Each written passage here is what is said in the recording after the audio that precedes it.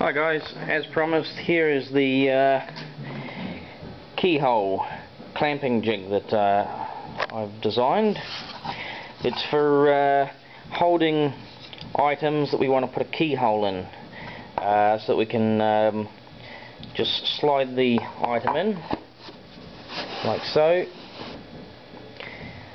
Flip this cam lever over here and that will lock this piece in place so it can't move while the um, CNC machine is cutting the keyhole here for us. Once it's finished, we release the cam, slide the piece out, and slide in a new piece ready to go. So let's have a quick look at how it's made. Uh, as you can see here, I've used um, Joe's design for the um, the knob there from HDPE.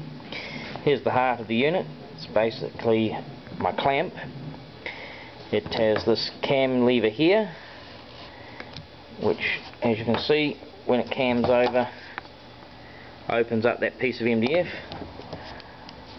when it's put back the piece of MDF goes flush again.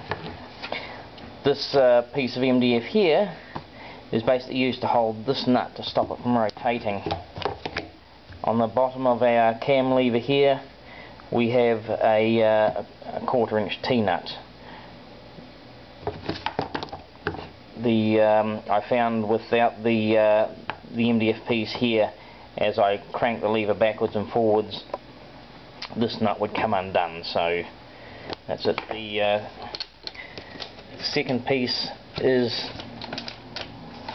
the L shaped and that's basically nothing more as its name describes than an L with uh, three bolts in it designed to set um, correctly into my uh, machine slots here. So anyway, that's the unit there. Two pieces and um, keep the hands out of the way while um, machining key slots. Okay guys, cheers.